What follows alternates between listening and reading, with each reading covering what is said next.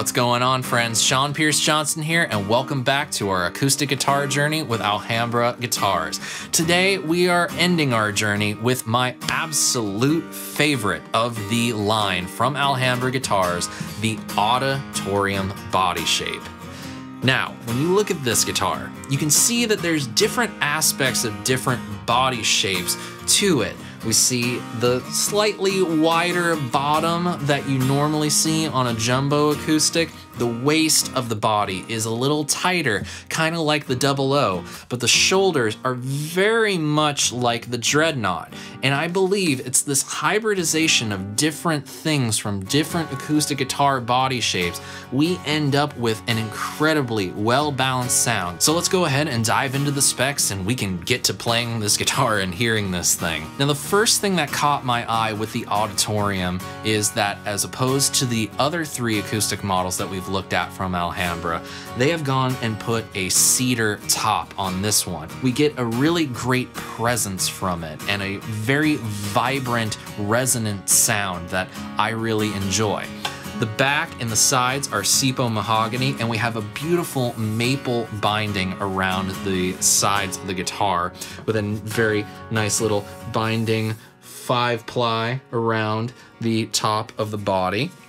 And we have this really cool sort of rosette around the sound hole, which kind of looks a little bit like houndstooth in a way. And really cool right here, a clear pickguard as opposed to a tortoiseshell. So the, the wood can really be the focal point of this guitar. Again, the neck is also SIPO wood and is topped with ebony. Again, going on the sustainable route, we get a little bit of streaking in our ebony. It's not 100% perfect and mother of pearl dot inlays. We have our bone nut up at the top and the compact headstock shape with the Graph Tech ratio tuners.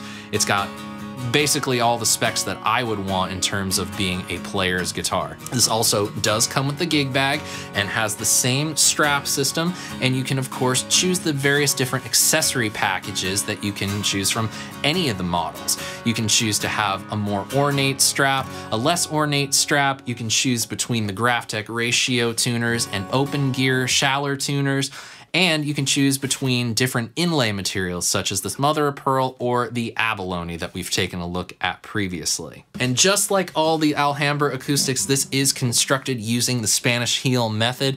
Basically, the neck and the heel are built first and the rest of the guitar is built around it. And I really do feel like that does project something into the overall sound of the acoustic guitar. So with the final model in the Alhambra acoustics line, we might as well spec out one of our own. Now I've mentioned a couple features that you can customize uh, so far in this video, but I haven't touched on everything. So let's go ahead and take a look at the Alhambra guitars guitar customizer here on their website. You'll see the link in the description below as well as on your screen right now. Once you hit that home page, click go, and now it's time to design an auditorium, which is my favorite. So I'm basically going to spec out exactly what it is that I would want from an Alhambra auditorium. Two different types of bracing, T and NS. Let's dive into these descriptions a little bit.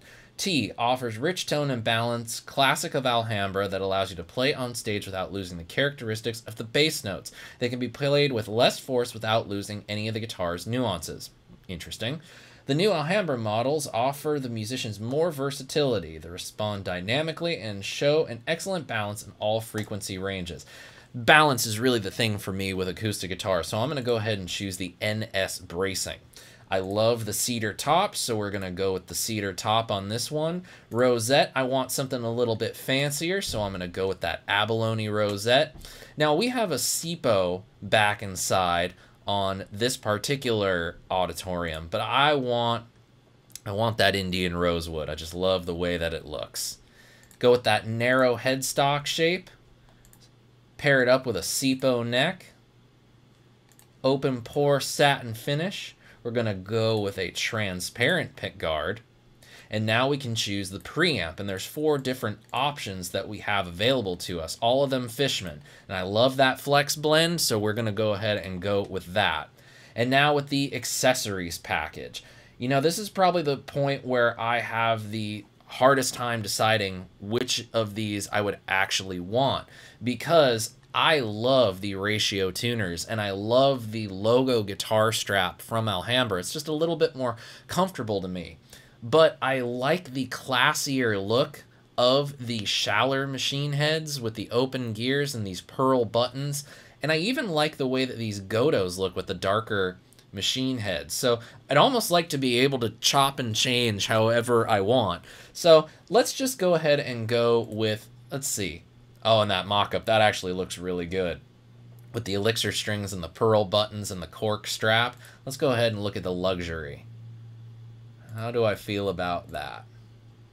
Huh, it's not bad. Although I'm not crazy about the cork strap, I, it, it's all about the aesthetic that I'm choosing here, and I really like those pearl buttons, and there it is. My specked out Alhambra uh, steel string acoustic auditorium. It looks awesome. And at 1770 56 euro, that's not a, a really bad price. Now, of course, I'm going to have to do some conversion, which you'll probably see on your screen right now. And, uh, you know, if this is something that I, I would actually be comfortable with spending what I would need to spend in order to be able to get something like this, something that looks like I want it to look, has the tone woods that I want it to have, and is as flexible of a guitar, uh, acoustic guitar at least, as I can possibly make it. So now that I like it, I'm going to go ahead and enter in my personal info so that we can get this party started. And in three months, hey, the Alhambra guitar would have uh, been here should I place the order. But uh, that maybe is something else we'll have to look at in a future video. We are going to be hearing it with the U87 and the Avalon VT737 preamp. And quite frankly, hearing these tones plugged in and recorded like this, it just sounds awesome. So I'm just gonna let you guys hear some of the musings that I've been able to conjure up with this particular guitar.